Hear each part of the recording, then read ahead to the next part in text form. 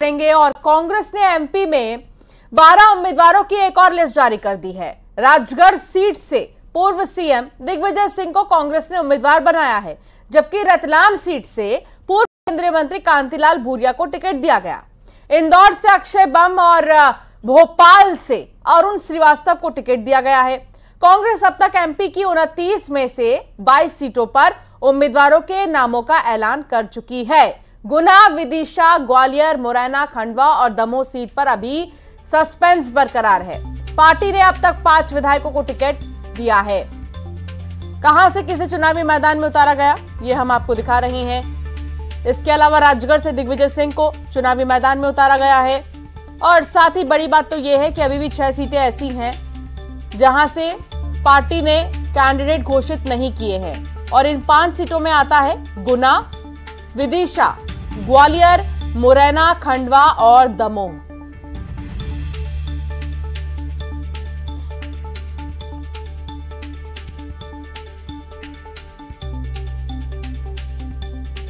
तो इन छह सीटों पर अभी भी सस्पेंस बरकरार कि आखिर कौन होगा उम्मीदवार? मध्य प्रदेश की कुल उनतीस लोकसभा की सीटें और छह पर अभी भी कांग्रेस ने उम्मीदवार घोषित नहीं किए हैं। बात करें अगर 2019 की तो मध्य प्रदेश की बात करें अगर तो मध्य प्रदेश में अगर देखा जाए तो तमाम जितने भी प्रत्याशी हैं, अब जोरों शोरों से प्रचार प्रसार करेंगे। ग्वालियर की अगर हम बात करें तो ग्वालियर में तीसरे चरण में चुनाव होना है। मौजूदा सांसद विवेक नारायण शेजवलकर हैं।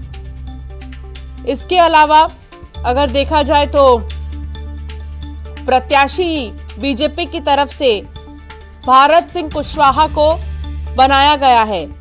अभी कांग्रेस की तरफ़ से ग्वालियर सीट पर प्रत्याशी के नाम का ऐलान नहीं किया गया है। और इसी तरह अगर हम गुना की बात करें तो गुना की बात करें तो 7 मई को तीसरे चरण में यहाँ पर वोट डाले जाएँगे। मौजूदा सांसद कृष्णपाल सिंह यादव हैं और गुना से ज्योतिरादित्य सिंधिया को प्रत्याशी बीजेपी ने बनाया है। लेकिन अभी कांग्रेस की तरफ़ से ऐलान नहीं किया गया है। विदिशा की अगर बात करें तो विदिशा से पूर्व मुख्यमंत्री शिवराज सिंह चौहान चुनावी मैदान में हैं बीजेपी की तरफ़ से। लेकिन कांग्रेस की तरफ़ से अभी तक विदिशा से प्रत्याशी के नाम का ऐलान नहीं किया गया है। तो ये सिलसिलेवार तरीके से हम आपको बता रहे हैं कि कौन सी सीट ऐसी है जहाँ पर अभी तक कांग्रेस की तरफ़ से प्रत्याशी के नाम का ऐलान नहीं किया गया। लेकिन राजगढ़ की बात करें तो राजगढ़ से दिग्विजय सिंह को प्रत्याशी बनाया गया है और रोडमल नागर बीजेपी के प्रत्याशी हैं। कुछ ऐसी सीट जहाँ हम आपको दिखा भी रहे हैं कि छह सीट पर क्यों पेच फंस रहा है कई नाम एक ही सीट पर सामने आ रही हैं। तो अभी भी चर्चा बाकी है कि आखिर टिकट किसको देना है। मुरैना भी इसमें शामिल है और दमोह भी इसमें शामिल है। अभी तक इन जगहों पर उम्मीदवारों के नामों का ऐलान नहीं हुआ है। लेकिन अगर बात करें भारतीय जनता पार्टी की तो भारतीय जनता पार्टी की तरफ़ से जिन छह सीटों पर अभी तक कांग्रेस ने प्रत्याशियों के नामों का ऐलान नहीं किया है, वहाँ पर कर चुकी है नाम का ऐलान भारतीय जनता पार्टी।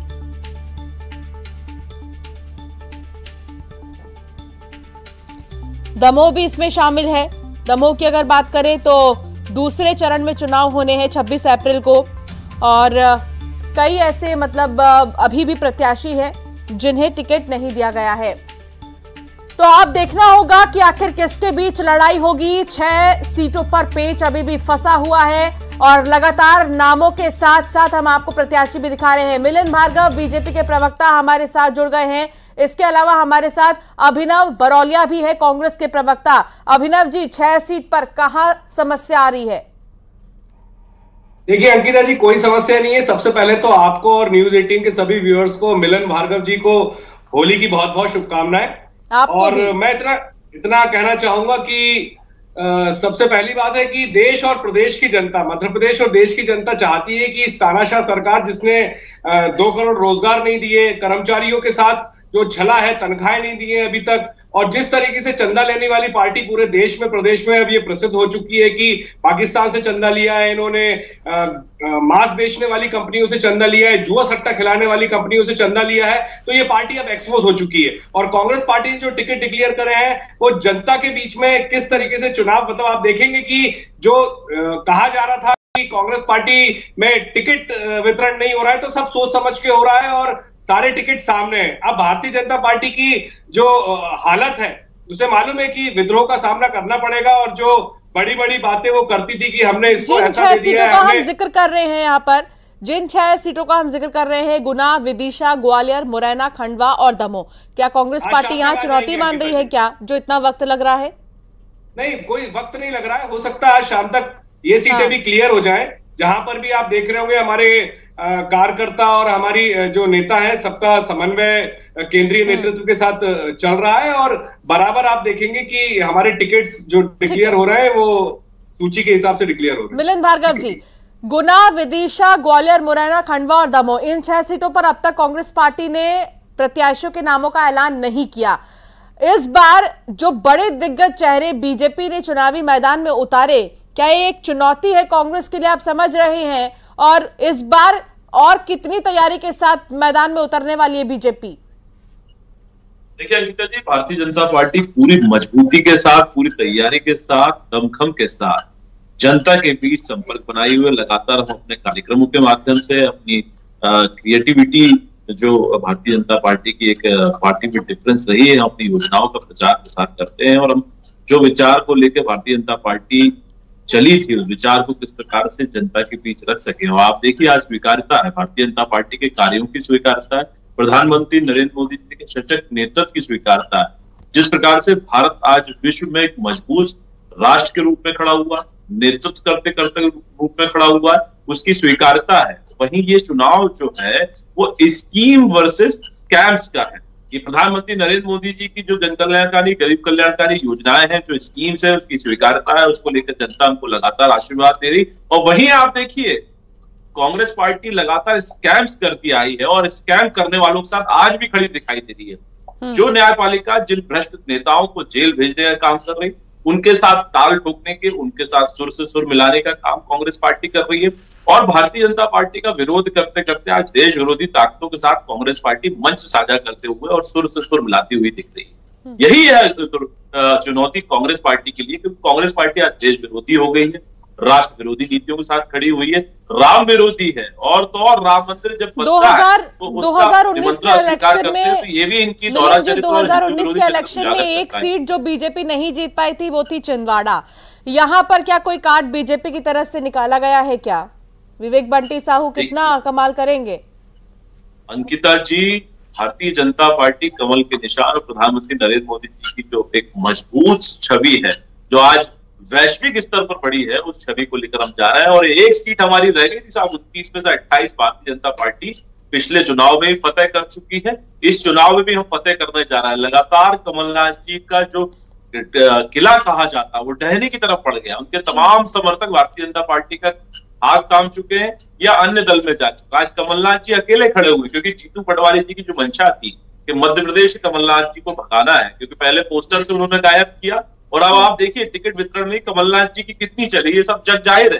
कमलनाथ जी आज मध्य प्रदेश से नदारत है। मध्य प्रदेश में कहीं दिखाई नहीं दे रहे मध्य प्रदेश की राजनीति में जो पिछले पाँच छह सालों में कमलनाथ जी दिखाई देते थे आज अचानक एकाएक वो गायब होगा ये रणनीति के तहत है। दिग्विजय सिंह जी की जो कूटनीति है और रणनीति है अपने पुत्रों को स्थापित करने जो मिलन भार्गव जी कह रहे हैं कि कमलनाथ कहीं दिखाई नहीं दे रहे हैं। एक मज़बूत नेतृत्व एक मज़बूत नेतृत्व एक बड़ा चेहरा और क्या इसी वजह से इन छह सीटों पर भी बात अटकी हुई है कि अनुभवी को दिया जाए या युवाओं को दिया जाए या जातिगत समीकरण साधा जाए। एक सीट पर कांग्रेस में तीन तीन दो दो चार चार नामों पर चर्चा हो रही है। इतना कंफ्यूजन कोई कंफ्यूजन नहीं है। ये भ्रम की स्थिति भाजपा खुद पैदा कर रही है क्योंकि वो घबराई हुई, क्योंकि इनके जो मुखिया है, ना खाऊँगा, ना खाने दूँगा वाले जो कहते थे आज ये तानाशाह सरकार जो बिल्कुल तानाशाही पर उतर आई है तो उसके पास अब कहने और करने के लिए कुछ नहीं, क्योंकि जनता को जो डिलीवर करना था, उनने किया नहीं। मध्य प्रदेश में तीन महीने की एक सरकार हो चुकी है और झूठे वादे करके किसानों को ठगा। किसानों के लिए जिस तरीके से इन्होंने बोला कि हम एमएसपी देंगे इकतीस और सत्ताईस की धान और गेहूँ पर, वो नहीं दी। बेरोजगार युवा, यहाँ पर जिस तरीके से रजिस्टर्ड बेरोजगार युवा पचास लाख से ज़्यादा मध्य प्रदेश में उनको ठगने का काम किया, कहा गया कि तीन से चार लाख पद भरेंगे। तो जनता जो है मध्य प्रदेश की चाहे युवा हो चाहे महिलाएँ हो सभी लोग त्रस्त है इस सरकार से क्योंकि ये सरकार सिर्फ़ तानाशाही कर रही है। इसको सिर्फ़ जेब भरने से मतलब है जनता के टैक्स की चोरी जिस तरीके से कर रही है ये बातों को इधर उधर घुमाते हैं। ये कभी कमलनाथ जी पे चले जाते हैं कभी दिग्विजय सिंह जी पर चले जाते हैं। लेकिन जो काम की बात होती है मुद्दों की बात होती है उससे भागते हैं क्योंकि इन्होंने कुछ भी डिलीवर नहीं किया है। जो वादे हैं वो इनके खोखले हैं। कमलनाथ इलेक्शन में नज़र आएँगे क्या? अभिनव जी। कमलनाथ जी बिल्कुल आप देख रहे होंगे। कमलनाथ जी छिंदवाड़ा में एक्टिव है प्रदेश की राजनीति में एक्टिव है। छिंदवाड़ा में या फिर छिंदवाड़ा के बाहर भी? बिल्कुल दिखेंगे आपको सभी जगह। अभी टिकट डिक्लेयर होंगे उसके बाद सभाएँ होंगी आपको सब जगह दिखेंगे। कमलनाथ जी दिग्विजय सिंह जी तो चुनाव भी लड़ रहे हैं। तो ये सारी बातें जो गफलत फैलाई जाती है ये भारतीय जनता पार्टी फैलाती है। आप देखेंगे लगातार मुद्दों से भागते रहना मुद्दों की बात ना करना बेरोजगार युवाओं की बात ना करना कर्मचारियों की तनख्वाह नहीं बढ़ रही है उसकी बात नहीं करना सिर्फ़ और सिर्फ़ अपना गुणगान करना मिलन जी। मिलन जी कमलनाथ कमलनाथ जी को आप याद कर रहे थे। मेरा सवाल ये कि प्रधानमंत्री नरेंद्र मोदी ब्रांड एम्बेसडर है, भारतीय जनता पार्टी के। हर जगह वो चुनाव के पहले नज़र आते हैं और सभाएँ करते हैं, जैसे कि आप गारंटी का ज़िक्र कर रहे थे, उस गारंटी की भी बात हम करेंगे। लेकिन क्या मध्य प्रदेश का कोई भारतीय जनता पार्टी का कोई बड़ा चेहरा जिसके नेतृत्व में ये चुनाव हम देखें? देखिए, प्रधानमंत्री नरेंद्र मोदी जी के चेहरे पर ये चुनाव लड़ा जा रहा है उनका फूल जिस प्रकार से विचार को लेकर चला था, उस विचार विचार को आज परिपूर्ण करते हुए भारतीय जनता पार्टी ने अपने सारे समस्त जो राष्ट्रीय स्तर के विषय थे उनको पूरा करते हुए दिखाया। आप धारा तीन सौ सत्तर को हटाने की जो हमारी बात थी वो हटाकर दिखाई हमने। सीए लागू करने की बात थी वो लागू है। प्रभु श्री राम मंदिर का निर्माण को लेकर इसका असर इसका असर क्या आपको लग रहा है? मध्य प्रदेश में लोकसभा चुनाव पर होगा। अंकिता जी ये चुनाव जो है ये राष्ट्र विरोधी ताकतों और राष्ट्रवादियों के बीच ये आप समझिए ये चुनाव कोई सामान्य चुनाव नहीं है, कांग्रेस पार्टी की दुर्गति आप देखिए, किस प्रकार से भ्रष्ट नेताओं के साथ खड़े हुए, बेमन से कांग्रेस का नेता चुनाव लड़ना चाह रहा है। आप खोजे से भी मध्य प्रदेश में इनके प्रत्याशी नहीं मिल रहे थे। दिग्विजय सिंह जी तो खुले मन से कहते मैं क्यों चुनाव लड़ूँगा भाई? मेरा तो ढाई साल अभी राज्यसभा का बच्चा है। तो क्योंकि 2003 में जब मध्य प्रदेश की जनता ने मिस्टर बंटा जी को नकारा था तो उन्होंने दस साल संन्यास ले लिया था। और दस साल बढ़ाने के बाद दो हज़ार उन्नीस में जब भोपाल में लोकसभा घर भेजा जनता ने नकार दिया। तो आपको तो पिछले एक दो साल से कहते थे मैं चुनाव नहीं लड़ूँगा। अब बेमन से दबाव करके सोनिया जी और राहुल जी के दरबार में चुनाव लड़ाया ज़रूर है लेकिन बेमन से लड़ रहे हैं क्योंकि हार में की बात ये चल रही थी देखिए जो अंदर खाने की बात में बताऊँ हाँ, जी कुछ कहना चाह रहे बोलिए अभिनव जी। पटवारी जी चाह रहे थे कि दिग्विजय सिंह जी के पुत्र या भतीजे लोकसभा का चुनाव लड़ ले लेकिन भतीजे और पुत्र को बचाने के लिए दिग्विजय सिंह जी पटवारी पे भी मैं जीतू पटवारी पे भी आऊँगी अभी आप रुक जाइए अभिनव जी बोलिए। देखिए मैं इतना कहना चाहूँगा सुई वही वही घूम रही है। मैं आपसे बार बार कह रहा हूँ न्यूज़ 18 चैनल के व्यूअर्स भी देख रहे होंगे कि मैं जनता के मुद्दों की बात कर रहा हूँ कि कब रोज़गार दिया जाएगा कब किसानों को एमएसपी दी जाएगी कब कर्मचारियों की तनख्वाहें दी जाएँगी। कब ये ये सारे वादे कब पूरे करेंगे कब सिलेंडर सस्ता होगा कब कब गैस के दाम कम करेंगे कब रोज़गार देंगे इन बातों की बात ना कर। ये, ये लगातार वही लगातार वही तो आप, आप दिग्विजय सिंह जी दिख तो घर बैठे हुए जनता के प्लेटफॉर्म गाली वाले होकर भी इस चीज़ को उठा रहे हैं। महँगाई की बात आपने की रोज़गार की बात आपने की आपने तमाम बातें कर दी लेकिन क्या आपके नेता इन चीज़ों को उठा रहे हैं? क्या अभिनव जी ये बताइए। क्या क्या आपने दिग्विजय सिंह जी की कल की प्रेस कॉन्फ्रेंस देखी थी? आपने हम्म। देखा होगा कमलनाथ जी लगातार वही बात बोलते हैं। वो का विरोध करते हुए ज़रूर दिखा है। पटवारी जी बोलते हैं। सभी लोग लगातार ये वाली बात बोलते हैं। लेकिन है। गौशाला का विरोध कर दिया। जिन मुद्दों को आप गिना रहे हैं जिन मुद्दों को आप ज़िक्र कर रहे हैं अभिनव जी विधानसभा चुनाव में नतीजे क्या ऐसे आते? मध्य प्रदेश में आज भी चालीस वोट कांग्रेस पार्टी को मिला और इकतालीस परसेंट भाजपा को। यह अहंकार दम की बात नहीं है। जनता हमारे साथ आज सीटों का अंतर कम हुआ हम सरकार नहीं बना पाए।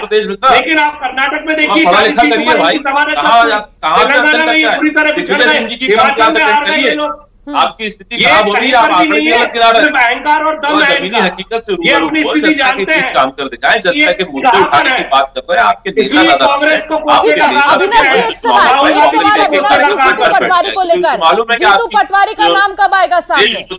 छवि है, वो सबके सामने आ देखिए, जो कांग्रेस की, जो चुनाव समिति है, केंद्रीय चुनाव समिति है कांग्रेस की, वो डिसाइड कर रही है कि किसको चुनाव लड़ना है, नहीं लड़ना है। दिग्विजय सिंह जी सामने आए, कांतिलाल भूरिया जी सीनियर लीडर सामने आए हमारे। युवा नेता चुनाव लड़ रहा है, सभी लोग चुनाव लड़ रहे हैं। लेकिन जीतू पटवारी जी का अगर नाम आएगा तो इन छह लिस्ट में नाम आ जाएगा। वो प्रदेश अध्यक्ष है, उन पर संगठन का ज़िम्मेदारी है, चुनाव लड़ाने की ज़िम्मेदारी है। तो ये इशू देखिए बार बार इश्यूज़ को घुमाया जा रहा है। हम्म। हम बात कर रहे हैं मुद्दों की ये बात कर रहे हैं कांग्रेस को कोसने की जीतू पटवारी को कोसने की कमलनाथ जी को कोसने की राहुल गांधी को कोसने की कांग्रेस को कोसने की नेहरू जी तक को कोसने की गांधी जी तक को कोसने की। ये ये नहीं कर रहे हैं कि दस साल में इनने क्या डिलीवरी किया। इनने क्या दो करोड़ रोज़गार दिए इन्होंने क्या कर्मचारियों का भला कर दिया इन्होंने किसी किसी भी सिर्फ़ अभिनव जी आप आप ही बोल रहे हैं अभिनव जी। मैं भी नहीं रही हूँ। हमेशा विपक्ष की शिकायत होती है कि हमें बोलने का मौका नहीं दिया जाता तो आप ये नोटिस कर रहे होंगे कि मैं आपको बोलने दे रही हूँ। अभिनव जी मैं दोबारा आपके पास आऊँगी। मिलन जी सवाल ये कि दस साल के लिए सवाल उठाए जा रहे हैं कि 10 साल में किया क्या गया? क्या 10 साल का लेखा जोखा लेकर बीजेपी जाने वाली है जनता के बीच में? बिल्कुल अंकिता जी हम अपनी गरीब कल्याणकारी जन कल्याणकारी योजनाओं को लेकर जा रहे हैं। हमने जिस प्रकार से भ्रष्टाचार को हटाने के लिए जनता को सीधे और योजनाओं का लाभ दिलाने के लिए देश में आप देखिए पचास ये भ्रष्टाचार को हटाया सीधा फ़ायदा इकतालीस करोड़ युवाओं को मुद्रा लोन के माध्यम से स्वरोजगार दिया ताकि वो रोज़गार के साथ वही युवा रोज़गार ये कांग्रेस आत्महत्या की दर बढ़ रही है। नहीं है। हमने बेघर को घर दिया हमने सिलेंडर जैसी मूलभूत सुविधा मुहैया कराई महिलाओं को जो कहीं ना कहीं उनको मज़बूत करती है। हमने नल जल योजना के माध्यम से घर घर जल पहुँचाया।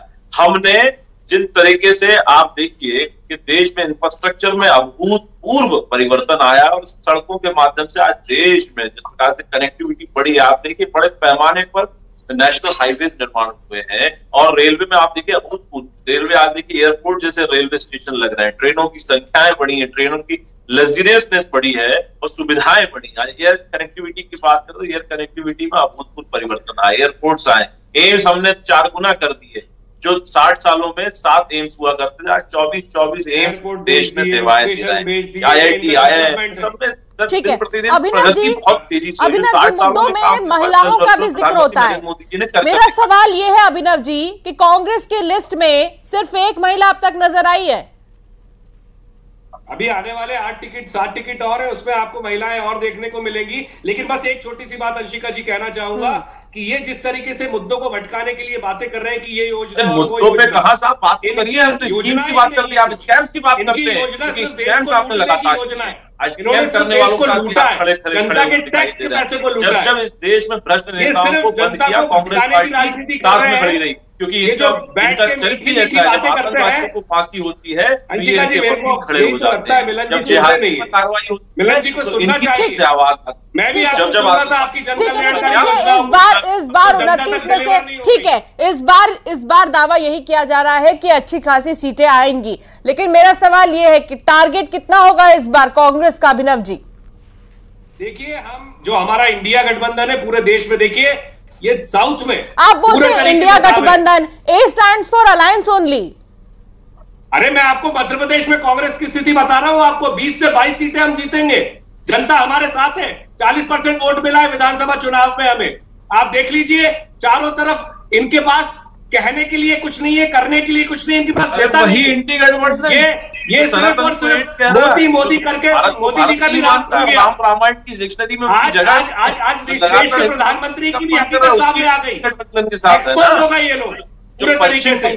किस तरीके से चंदा लेने वाली पार्टी तानाशाही करने वाली पार्टी मिलन जी मिलन जी इस बार कांग्रेस के कई दिग्गज नेता बीजेपी में शामिल हुए हैं।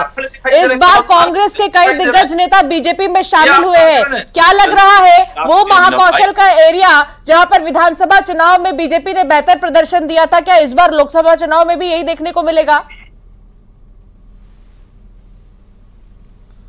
मिलन जी जी आपको प्रश्न नहीं आया फिर से करिए। मिलन जी, सवाल ये कि वो महाकौशल का एरिया जहाँ पर सबसे ज़्यादा चुनौती है। विधानसभा चुनाव में भी चुनौती थी, लेकिन आप लोगों ने अच्छी सीटें यहाँ पर लेकर आई। अब क्या लगता है कि लोकसभा चुनाव में भी महाकौशल का एरिया चुनौती है? देखिए, चुनौतियों से लड़ना, चुनौतियों को स्वीकार करके उसका समाधान करना ये भारतीय जनता पार्टी का कार्यकर्ता परिपक्वता के साथ जानता है। और उसी परिपक्वता के साथ विधानसभा के चुनाव में भी आपने देखा और ताकत के साथ भारतीय जनता पार्टी के चुनाव लड़ा और जो परिणाम है वो सबके सामने। जनता ने अपना विश्वास दिखाया प्रधानमंत्री जी के मन में मध्य प्रदेश है और मध्य प्रदेश के मन में प्रधानमंत्री नरेंद्र मोदी जी है।